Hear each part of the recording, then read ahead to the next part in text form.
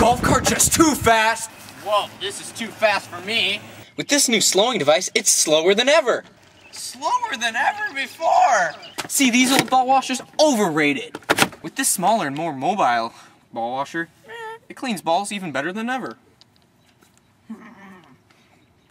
Thank you, sir.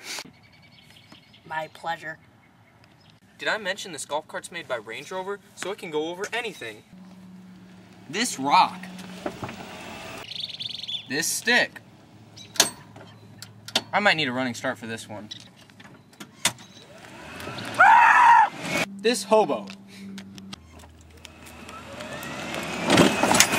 So if you want to get a golf cart that has the best driving experience with all the newest attachments, you want to get this golf cart. And we're not going to give you this $2 value for $2, but $5,000. What a beaut.